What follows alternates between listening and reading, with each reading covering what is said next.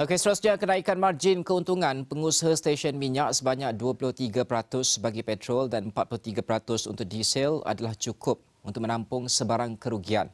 Kata Menteri Kewangan Lim Guan Eng, keputusan kabinet untuk menaikkan komisen bagi bahan bakar itu juga merupakan satu jumlah yang tinggi.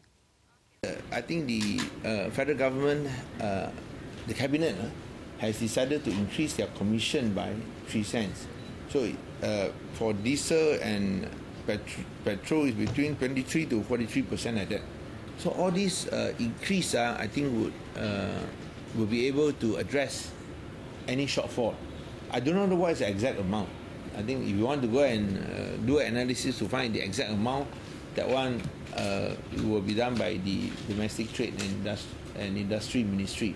But uh, the fact that the commission has increased, and I see from the statements that they are they are willing to accept that sort of uh, uh, approach, uh, increase in commission and also address their their uh, any shortfall, I think this will be the best win-win formula.